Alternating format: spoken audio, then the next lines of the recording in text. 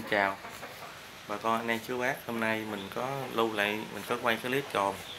Mới quay giao cho người chú bên Đông Xuyên. Thì cháu của chú có nói là đâu anh gửi cái clip tròn. Thì, ờ, bự cho cho em coi thì em không có điều kiện qua được. Thì bây giờ mình quay cái clip này gửi qua cho cháu giúp xem mà cũng là gửi cho em anh em bà con trên mạng biết luôn. Cũng như là anh em chú bác.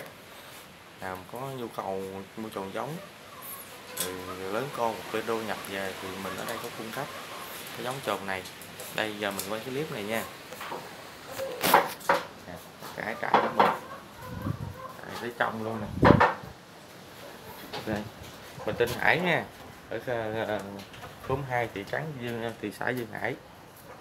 Đây. Mình quay chỗ này. Để ra ra ngoài này con trùng đó tối quá ra quay không rõ đây mình có một cặp chồn đang phối giống. Con cái là 7 kg 3 con được 8 kg nhập bên đua về.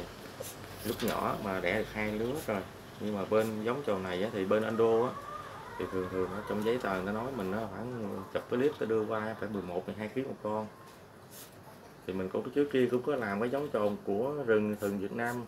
Việt Nam thường loại có nhiều giống, mình thấy nhỏ con quá 4 5 kg nuôi không có hiệu quả, còn nào mập nhất là 6 kg thôi. Cái nuôi kinh tế chậm. Mình mới nhập cái giống trồn này về nè. Bữa nay được 3 năm rồi, nhưng mà cái sức đi cũng mấy đợt.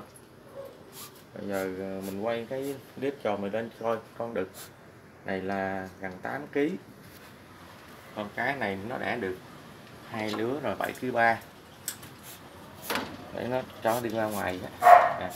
đó, nó đi ra ngoài. Đó, bà con em chú bác thấy không? Con quá trời nó bự nè. Để nó ôm nhau rồi thấy không rõ. Để mình mình quay cho. Dài khủng khiếp lắm. Thì cái trộn ờ, nào thì cũng có. Nhưng mà cái trồn này thì mình nhập về thì cũng có giấy phép đầy đủ cũng là giấy ờ, cũng cũng lâm cấp ừ, hợp lợi hợp pháp để mình làm trại mình nuôi. Là con cái đây là con cái cái này là 7 kg mới là 8 kg rồi.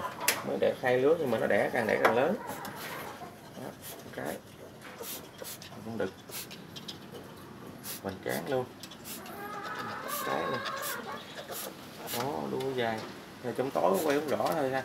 Bà con nay chú bác thông cảm nha tại vì trại mình nó hơi tối rồi vậy đây thì anh em cô chú bác có nhu cầu mua trùng giống thì liên hệ với mình. Rồi thôi xin chào. Xin chào bà con. Xin chào